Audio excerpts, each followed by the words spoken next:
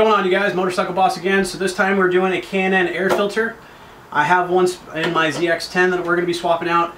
The disassembly process to get to it may be different on your bike, so consult your service manual for exactly how to go about that. Um, but once we get to the air filter, if you have a K&N, the process will be the same as far as how to clean it and how to oil it and then uh, putting it back in the bike. So let's get started. All right, so in order for us to get to the air filter, the air filter is in here under the gas tank. I personally like to remove the gas tank. I feel like it makes things a little bit easier. Um, you guys do you though. Every bike is going to be different as far as where the air filter is located and how to access it. Refer to your service manual as far as how to disassemble everything to get to that point. But uh, this is me just getting to the air filter.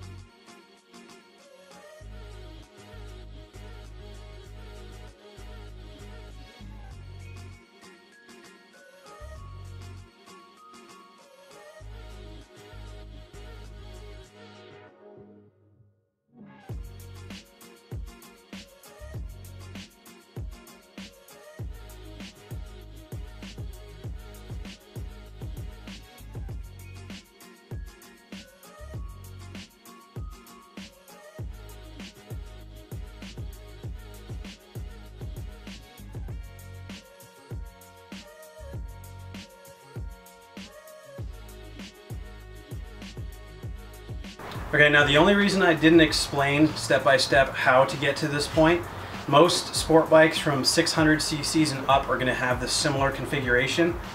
Uh, cruisers are normally going to have the air filter on the side of the tank on the right hand side and like the Ninja 300 will have have it underneath the, uh, the rider's seat. But every bike is going to be different so uh, you won't be able to follow exactly what I did because your bike may have a different procedure for getting to this point. So just refer to your service manual, it'll explain everything in detail. So once you're at this point and you can see these four tubes, these are called velocity stacks. And if anything drops in here and it gets inside your engine, good luck trying to fish it out. And if you can't fish it out, you're taking, you're dropping the motor and you're doing basically a, a top end rebuild. So to prevent that from happening, I'm going to immediately, once these are exposed, take some uh, shop rags and just stuff it in there in each one so that way nothing can fall in into the engine. This is going to be always, always, always, if you get to this point or even further and these four ports are exposed, always fill, cover these with a rag to make sure nothing gets in here because if anything gets in there you're in trouble. So now this is the air filter that we've been trying to track down and this one just pulls right up. We got the gasket right there. We'll just seat that want that back in there. And now let's check out. This is the clean side and it looks very pristine. And that is the dirty side. Up close look at the air filter on the clean side. And as you can see, everything's pretty pristine. And now we'll take a look at the dirty side. And right away, you can tell this thing has been put through the wringer. Now this has been after 4,000 miles of riding in the desert in Las Vegas. That is the state, or the, the city in which I live. So probably every 3,000 miles I should be going. Depending on your area will really dictate um, when you should be doing this. But every 3,000 miles is standard. But I just went a little overdue on this one. So good thing about K&N air filters, we'll be able to clean all this crap out and reuse it. So let's run over to the next part. Now there's a very particular way that you're going to clean this off. It's actually very easy. You want to use K&N's proprietary cleaning solvent for this, but I feel like it's a little bit of a waste simply because soap and water do the exact same job and you don't have to get some proprietary solution. So what you're gonna do is you're just gonna get some water, fill up a little spray bottle. We're just gonna get a little bit of soap. You don't need to put a lot. I like to give it a little shake.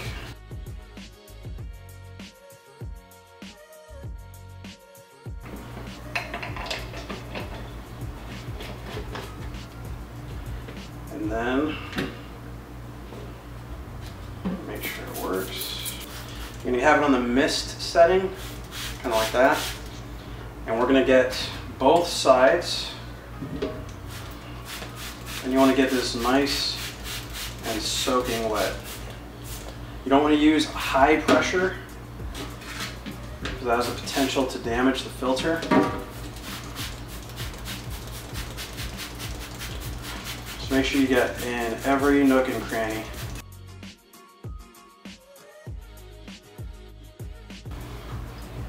You'll even turn it around. There as well. Be careful on this side. You're not trying to force any of this stuff deeper inside of the filament. You just want to get it wet. So that's why it's important to keep on the mist setting. But you want to get this as soaked as you can.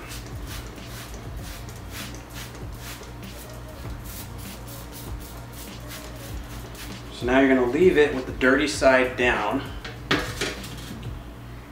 You're gonna leave everything to penetrate for about 10 minutes and then come back. All right, so it's been 10 minutes now. We're gonna get some about room temperature water and we're going to go from the clean side through towards the dirty side. If you flip it over and do it the other way, you can push some dirt towards the clean side and we don't want that.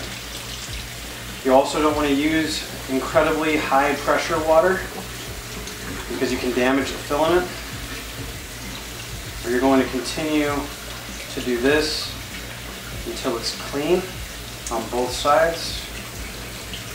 And make sure that you don't see any soap bubbles at all. So just take your time with this part. And if you feel like you want to, you can repeat uh, what we just did spraying it with soapy water, letting it sit, rinsing it out. You're going to repeat that as many times as you feel necessary. I found that I've never needed to do it more than once, even for how bad this filter was. Let me just check the other side. You want to make sure there isn't any particulates that are kind of hanging out, like I see something that's kind of stuck in there. So I'm seeing that there's a couple things, chunks that are sticking in. So let's use a little pick, try and get those out.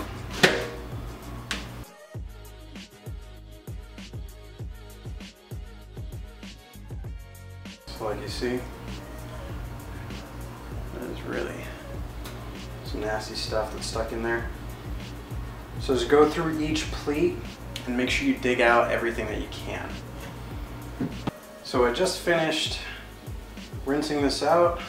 Uh, after picking through everything, just rinsed it out one more time. Now you just want to shake any excess water out of it.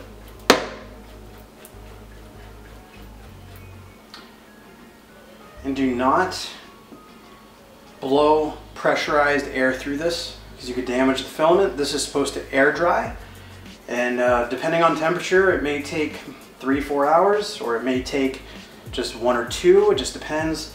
Uh, probably good to just leave this to sit overnight. And uh, what I like to do is I like to set it in front of a chair, or set it on a chair in front of a fan, and uh, have the fan blowing on the dirty side. And then uh, once it's good and dry, then you can apply the lubricant to it. Alright, so now that the air filter is completely dry, we're going to use K&N's air filter oil. And these do have to be oiled. So now that we cleaned it, we removed all the old oil as well as all the dirt and grime. So we're going to use this to re-oil it. Make sure you apply this on the dirty side of the filter, as in this is the side of the filter that the air will hit first before it goes into the engine. You're only going to apply this oil on this side. Now we're going to get our oil and we're going to run across these. We're going to put, try to put an even amount across uh, the entirety of the filter. Should be, see if I can get a good view of that.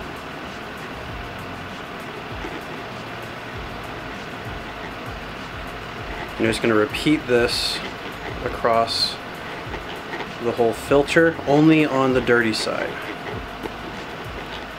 Okay, so now that I've finished oiling this whole side, you're going to want to let it sit with the dirty side up for about 10 to 15 minutes so that way you can let the capillary action pull the oil through the to the other side. You don't want to apply oil on this side because you may have your mass airflow sensor sitting above it and as the air is going through you don't want it to contaminate your mass airflow sensor and then making your air fuel ratio mess up. So let it sit uh, dirty side up for about 10 to 15 minutes and then ch uh, check to see if you have even coverage on both sides. If the other side is showing that it's a little splotchy and blotchy, try and apply a little bit more oil on the opposite side to those particular areas. Let it sit for about another 5 to 10 minutes and until you have even coverage. So while your air filter is sitting, if you look on underneath the filter or on the on the other side, the first section of your uh, your air box, you're gonna notice there's all this dirt and crap that's in there. So I'm just gonna use a little degreaser. I'm gonna go inside, clean all that up in the meantime.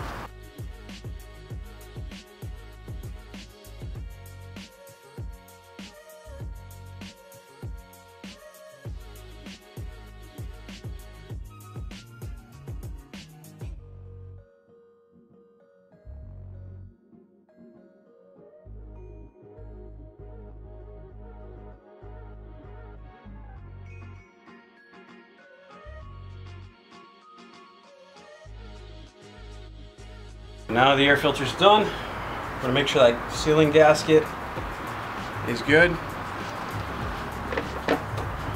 Drop it back in. We're gonna make sure we pull these out.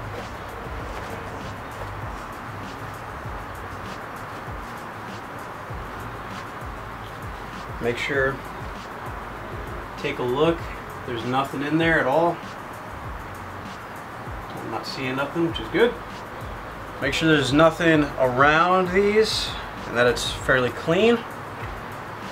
And once that's good to go, you're ready to reassemble, put everything back together. So it's as simple as that guys. Uh, sorry I didn't explain in detail how to disassemble and reassemble the bike to get to the air filter. The whole point of this video was to explain how to clean and how to re-oil a K&N air filter or any other air filter that may be similar to it. So I hope I was able to get that point across to you and uh, the video wasn't too boring. But it's pretty simple. I recommend, depending on where you're at, if you're in a desert like me, probably doing it about every 3,000 miles is what you should be doing before it gets really gunked up like you saw uh, in this video. But I hope if this was able to help you, you guys hit that like button. It definitely helps me out. Put a comment, let me know how I'm doing.